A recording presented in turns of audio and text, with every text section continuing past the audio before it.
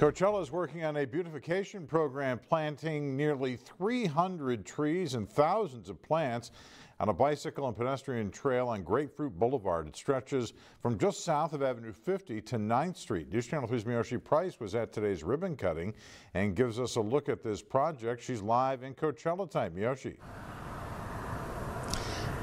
Hi, John. So, people I spoke with today in Coachella, pretty much they said the Grapefruit Boulevard Urban Greening and Connectivity Project is adding some much needed features to the city. This is not just one, but they're planning to add even more to Coachella's biking and pathways, walking pathways. It was just very hot around there. There was, and then there was like a bunch of holes and bumps and all that stuff around there.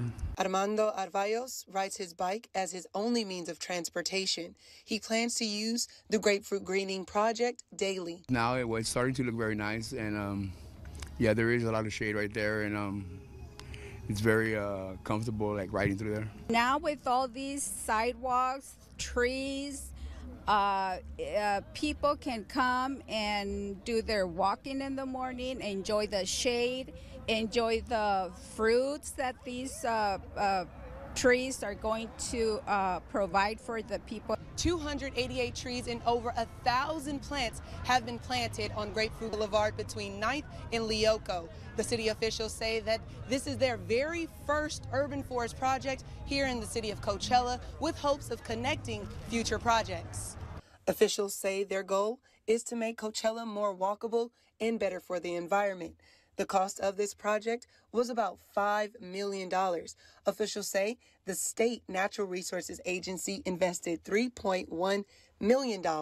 Partners like CVAG contributed 1.3 million and the city contributed 400,000. It's very beneficial for people like me and people that walk and on their bikes. The mayor of Coachella told me that visitors and residents will be able to experience the tree shade that it will provide in the next two years. He also confirmed that if you're walking or biking, you could pick and eat some grapefruit. Live in Coachella, Miyoshi Price, News Channel 3.